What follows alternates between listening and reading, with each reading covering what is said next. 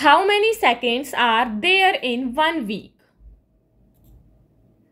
Number of seconds in a week 1 minute equal to 60 seconds.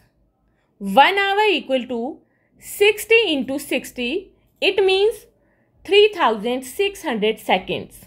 1 day equal to 24 into 3600. It means 86,400 seconds.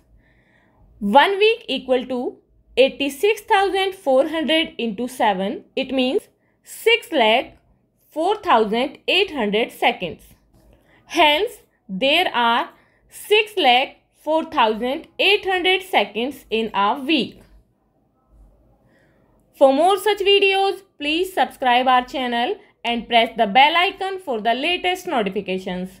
Thank you.